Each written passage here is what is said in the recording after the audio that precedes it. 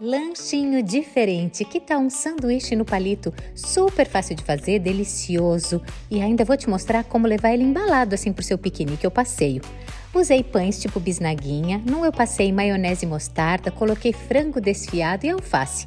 No outro, usei manteiga, queijo, tomate cereja, alface, mas você pode usar o que você quiser no recheio. Peguei palitos nesse estilo de picolé, coloquei no meio. E então, uma manteiguinha para deixar bem dourado, azeite de oliva e fui apertando dos dois lados para ficar assim, ó, bem firme e douradinhos os meus sanduíches. Depois de pronto, ah, aqui vem uma grande dica. Eu forrei eles vestindo assim, ó, até o palitinho com Brás Pratique, filme de PVC adequado aos alimentos. Olha que prático. Vai fazer, né?